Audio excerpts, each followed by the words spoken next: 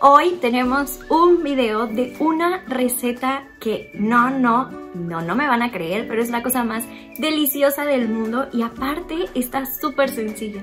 Desde que la probé no he podido dejar de hacerla, así que vamos a verla. Para esta receta vamos a necesitar una ollita o un lugar en donde vayamos a hacer nuestros, nuestras palomitas y la necesitamos tapar. Yo no lo engraso, no le pongo ni mantequilla ni aceite y estoy poniendo para estas cantidades que les voy a dar es media taza de granitos de maíz. Vamos a esperar a que se hagan todas nuestras palomitas. Créanme que es algo súper rápido y divertido. Bueno, a mí me encanta hacer palomitas. No les necesitamos poner sal ni nada de eso. Estas son unas palomitas naturales porque ya después le vamos a agregar los ingredientes.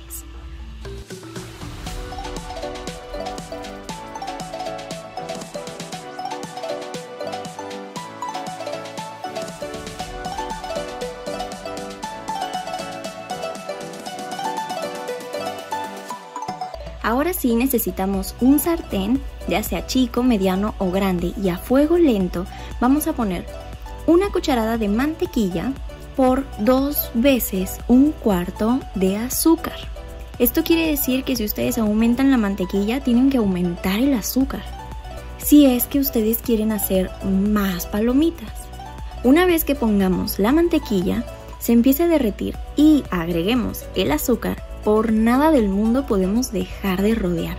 Vamos a conseguir una palita, una cuchara, lo que quieran, es más, un dedo si quieren, pero no dejen de rodear esa mezcla porque necesitamos que esté súper bien integrada y aparte que por nada del mundo se nos vaya a quemar este caramelo. Así que tip número uno, no dejen de rodear esto.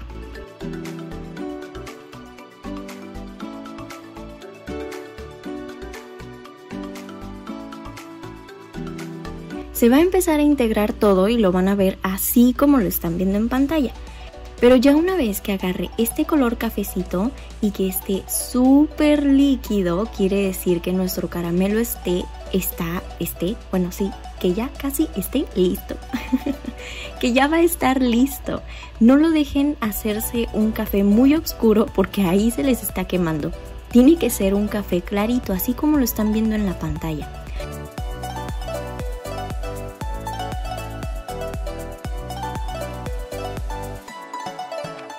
Y lo que sigue es la cosa más rápida del mundo. Lo tienen que hacer demasiado rápido. Tan rápido que lo estoy poniendo en cámara lenta.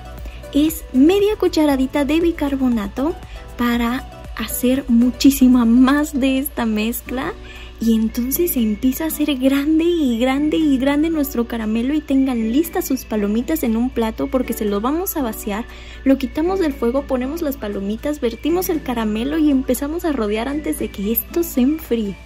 Ay, hasta me cansé, pero es que así es como lo tenemos que hacer. Y ahora no paramos de rodear porque no queremos que el caramelo se enfríe y algunas palomitas queden con caramelo y algunas queden sin caramelo. Entonces vamos a empezar a rodearlas todas. Necesitan un platito más o menos hondo para que lleguen a todas las palomitas. Ya una vez que las hayan rodeado súper bien, pues nada, ya están sus palomitas listas. Es hora de comer. bueno, déjenlas enfriar un poco, porque si están muy calientes se pueden quemar. Este caramelo va a estar muy caliente, así que tengan mucho cuidado, no las agarren enseguida. Pero vean esta delicia, es la cosa más deliciosa del mundo. Tengo que confesar que de todos los sabores de las palomitas, las de caramelo son de mis favoritas. Así que me encantan, me encantó saber esta receta porque no la sabía, no tenía ni idea de cómo hacer palomitas de caramelo y las empecé a probar para poderles traer el video. Así que me encantó. Ustedes cuéntenme si las hacen, cómo les quedaron y si les gustan las palomitas de caramelo.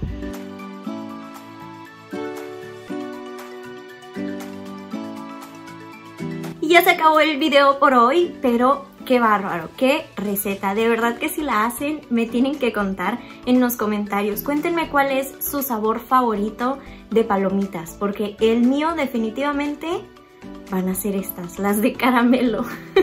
Gracias por todo su amor y por compartir mis videos. Eso me ayuda muchísimo para seguir llegando a muchas más personas.